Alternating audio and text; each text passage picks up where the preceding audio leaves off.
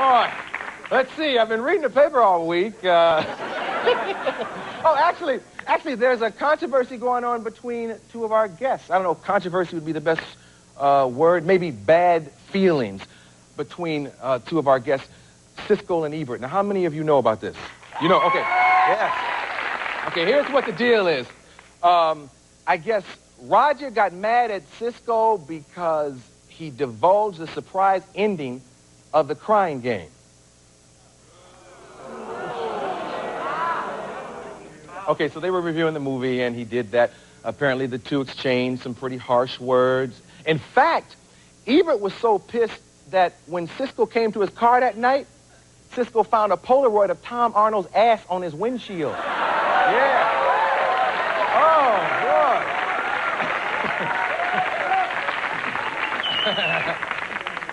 boy. uh, a rumor uh, is even going around that it turned physical off camera and they had a little fight, which they say Roger won. Uh, as a matter of fact, we have a graphic of uh, the latest Siskel and Ebert review. It's a little different now. Take a look at your... See, look, yeah, there's... Terrible fight broke out.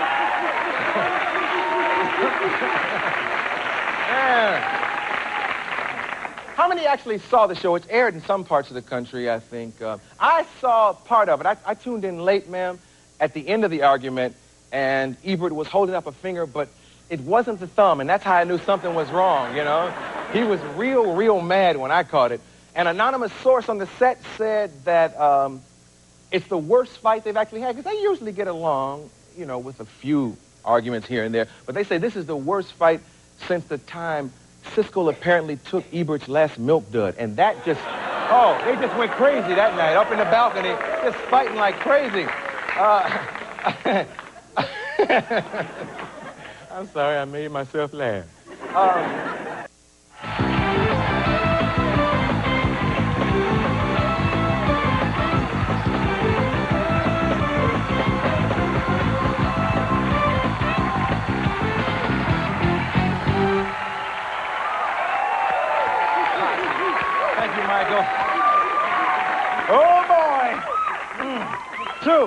Two two, monologues in one. Uh, join me all next week, and my guests will be uh, from the new movie Cop and a Half, Burt Reynolds, and a young man named Norman Golden II. Talent, a real talent. Um, Ugly Kid Joe, uh, comedian Lea DeLaria. Am I saying it right? Deliria. This lady is new and she's bad. Please check her out. Um, let's see. Who else? Uh, Wynonna, which I assume is Judd. Okay, let's just hope it's just not a chick named Winona that we letting come on the show. It's a Judd. Thank you. Sinbad in the house. Uh, yes, a lot of people. Uh, Denzel Washington, Rex Wretched-Effect, uh, Teddy Riley, Richard Crenna. Uh, uh, oh, the young boy who divorced his parents. Gregory K will be here. A lot of people with a single initial as a last name. Ice-T will be here.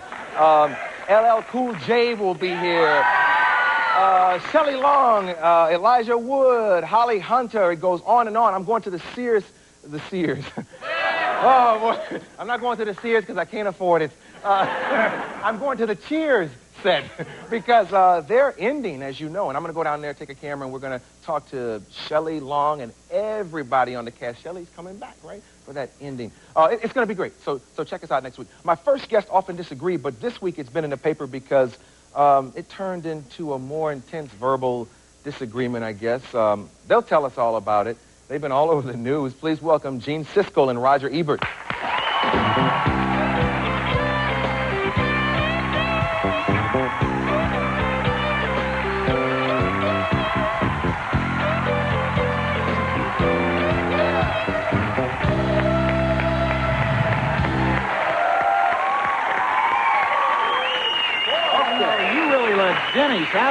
Uh, well, you know, I, I, I try to do it with jokes um, because we have to laugh to keep from crying, but it's really hard for me to believe in 93, if this thing turns out to be realistic, yeah. that this is going on. You know, I've never really had to tip anyone to get a table at Denny's myself. well, I'd like that nice one over by the counter if I could, now, please. But now, now, in seriousness, aren't you married to a black woman? Yes. Okay, so if you take your wife, you might have to. now, how much do you think would be the correct tip for a table at Denny's? I, am not sure. I think you should just sizzler it. down the street.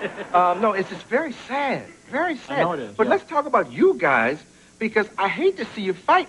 Tell them how it happened first for those who haven't seen the Well, program. why don't I start? Because I'm, I'm the accused. Uh, and uh, basically, uh, on our show, which is called If We Pick the Winners, it's an hour show devoted to um, who we would vote for if we had a ballot. We don't have ballots, but we make our arguments of who we would vote for, and we go through the major categories. And in the Best Supporting Actor category, I felt that Jaye Davidson did the best job. And I felt I had to explain why he did the best job, better than the other four actors. This wasn't reviewing the movie. Right. This was comparing actors' work.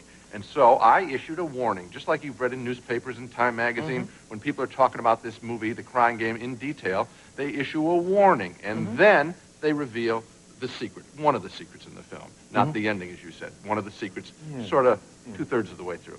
And so I did that. And we even put a crawl across the bottom of the screen saying, and this is sort of unprecedented on a television show, if you don't want to know, turn the volume down. And then turn the volume up, it's over. And he went ballistic. Yeah.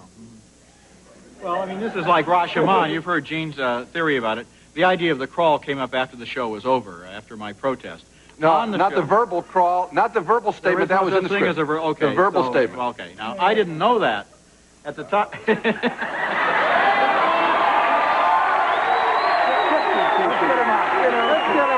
It could get ugly. Who knows? I don't want anybody to get knuckle bruises. See, Uh, I, I, we don't rehearse our show, and I had no idea what he was going to say. So he says, "Now I'm going to have to give away the secret." I did not say that. I, I want to warn you, he's putting on the gloves, man. Said something about uh, turn down, you and I said, "I hope you're not going to give away the secret," because you see, the theory that you can turn down the sound is great if you happen to have a volume control on a your volume set. control you know, or in your hand. But what if you're, you know, what if you're watching in bed, or what if you're in an airport, or in a college dorm, or something? Oh my God! I just awful. Or what if you're in Denny's? Oh my God!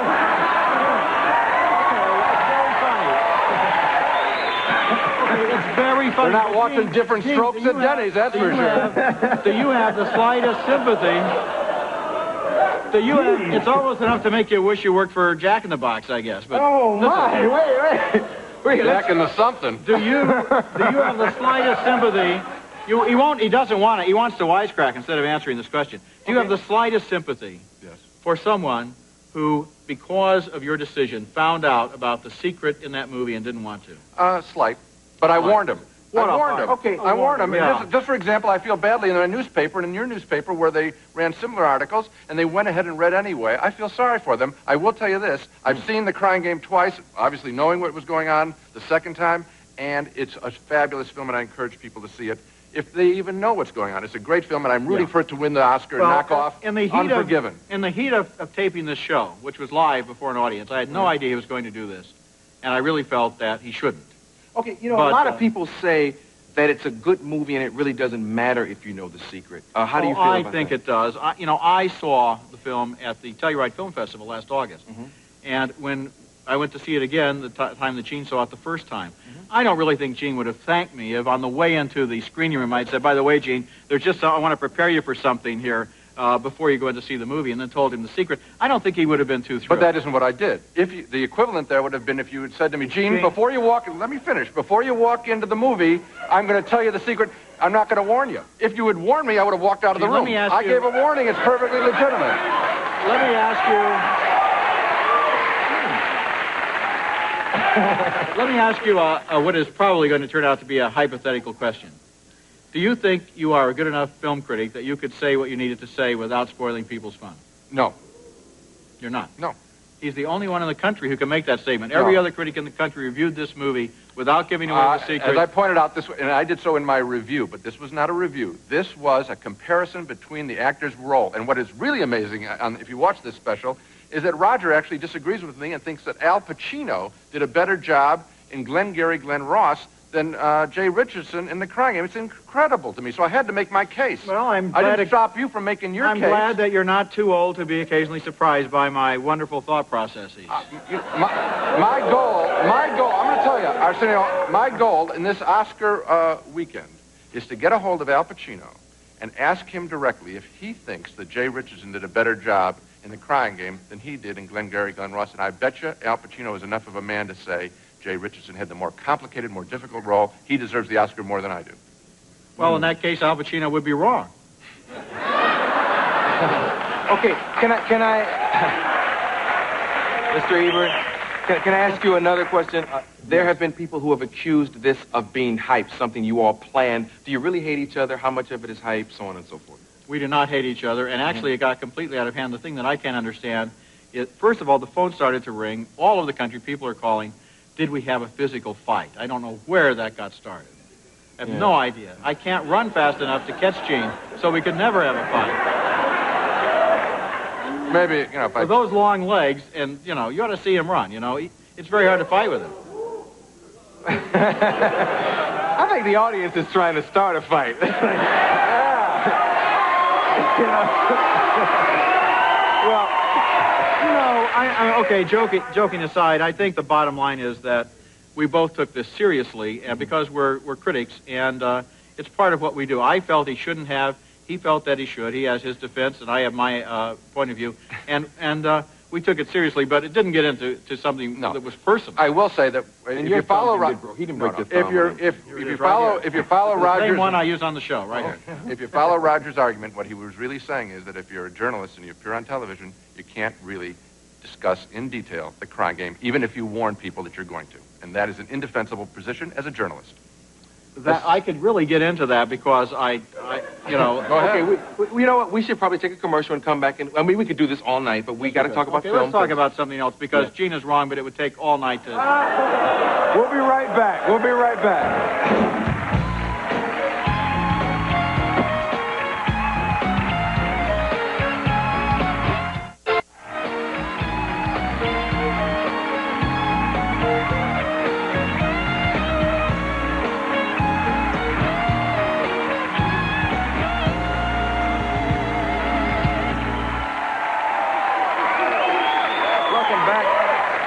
Sitting with Mr. Ebert and Mr. Siskel. Uh, let's talk about this big thing coming up for you guys. Uh, best picture. What do you think? I think Clint Eastwood is going to go home a very happy man on Monday. I think he'll probably win for Best Picture and Best Director. Now, sometimes um, who you think will win and who you would like to win is different. That's right. How about this case? Well, Unforgiven was in my list of the 10 best films of the year, but higher on the list was Howard's End, and also higher on the list was Crying Game. So it would be my third choice among the nominated films. What do you think about the whole Spike Lee situation? Uh, do you think him not being a Hollywood insider or Well, I think, I think there, he does a very good job in his uh, in, in arousing interest in his film for the man on the street, the customer. But I think he also manages to offend the powers in the studio. And frankly, I don't think he cares that much about them. He's trying to manipulate them to get a bigger budget and to get a bigger advertising budget. Now, when it comes time to vote for him, if you've been called a de facto racist in that if it were a white film, you would have spent more money on it, and you would, if it were a white film, you would have put more money in your advertising budget. And he may be right, but if you call people that, then expect them to vote for you, well, that's ridiculous. And he knows that, and he said at the Berlin Film Festival, he said, they don't like me, I don't like them. So it's not a surprise that he wasn't nominated, but people like Denzel Washington's performance enough. And uh, I hope, uh, well, frankly, he had the toughest role of any of the actors, uh, and uh, I hope he wins. okay? I do too. You know, um, I really think that uh, it's a shame that Malcolm X was penalized, perhaps because of uh, some of the feeling about Spike, because I feel that it was the best film that made last year, and it was certainly miles better uh, than A Few Good Men, which, for all of its good technical qualities, uh, is the kind of film that Hollywood has made a thousand times. It's a more or less formula courtroom picture. Yeah. Um, but Rob Reiner, I thought, did a great job. What do you think? Well, think? with that cast, Arsenio, I mean, it would be pretty hard. Not, I mean, that's there, there's you got some big that could have engines been there. your directing debut, and uh, you would have done a great job. yeah, I really think. I, I know it was, Me you know, too. based on a play, based on a play, so there really wasn't that much work to be done. Maybe in getting the cast, I'm told that Rob Reiner had some influence in getting that cast together, but uh, in terms of direction, I don't think that was anything special. Reiner is a terrific director. I love Princess Bride, one of his films that really didn't do that well at the box office, and I liked most of his pictures. Mhm. How about Best Actress? Well, I think the uh, winner is going to be um, Emma Thompson from Howard's End, and I would endorse that This, a choice. this falls under the Academy's rule that every year at least one major award has to go to somebody with a British passport. And for the last three years, they've given Best Actor to uh, somebody from Britain or from Byron's. Yeah. And uh, this year, I think it will go to Emma Thompson. I agree with Gene. She has a very complicated role to play, and she uh, plays uh, many different colors in that role, and uh, you're always questioning her behavior. She doubts herself. You don't see lead characters in movies doubt themselves as much as she does in the film, and uh, it's very complicated. She does a great job. So even at the end of that picture, you can even debate why, what, why she does what she does. There aren't that many quality scripts written in this town for women. So when we come to this time of the year, it, it's very complicated. You know, I was talking this morning to Mary Stuart Masterson, a very good young actress, who was complaining that frequently when she looks at scripts, it gets to the point where they're describing not the character, but the body. You know, mm. her breasts, her hair, uh, her thighs. And she said, I'm reading this script and I realize it's my breasts, my hair, my thighs. And then when you go in uh, for the audition, you're like, you're supposed to seduce the director or seduce the producer, at least symbolically, not physically. And then if you can seduce them, you can seduce an audience and you'll get the role. And she's, like most actresses, she's very uncomfortable with that. She would rather be considered as a person than as, and, at a certain point in a sex scene, you're not really looking at an actress anymore. You're looking at a body. And uh, that's too bad.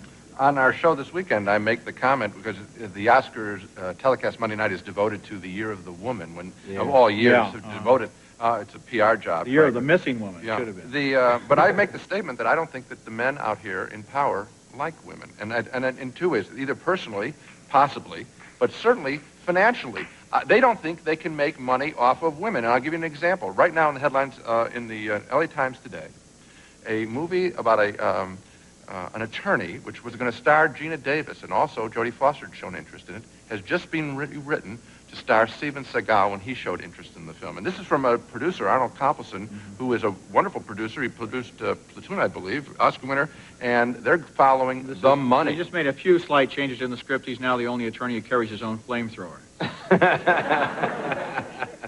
Uh, do you think you'll and see... Davis, just, I mean, we're not talking about marginal actors here. Geena Davis was just in a, a, league of their own, a big hit.